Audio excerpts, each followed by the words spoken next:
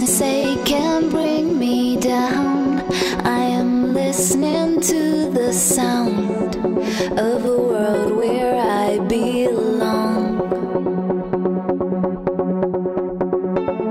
Is it wrong to think that we can choose what's meant to be our destiny?